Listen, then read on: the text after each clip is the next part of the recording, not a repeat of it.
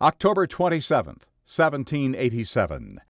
In New York City, a newspaper publishes the first of the Federalist Papers. The series of essays by Alexander Hamilton, James Madison, and John Jay urges ratification of the U.S. Constitution. The following year, the Constitution becomes law of the land after nine of the then 13 states ratify it.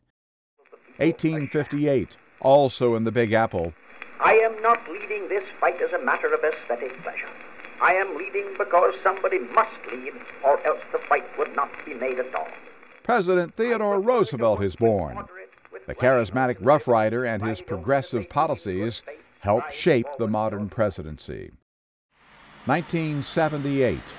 And the winners of the Nobel Peace Prize for this year are Egypt's President Anwar Sadat and Israel's Prime Minister Menachem Begin. Sadat and Begin share the honor for their progress toward achieving a Mideast peace accord. 1939. This parrot is no more. He has ceased to be. John Cleese, actor and comedian, is born in Britain.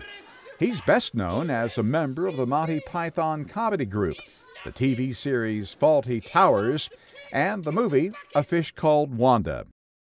And 2004, we waited a long time for this, and it's about time it's here. Well deserved. Go Red Sox, 2004 World Series champions!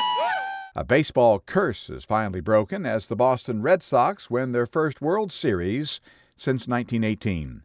They sweep the St. Louis Cardinals with a 3 0 shutout in Game 4.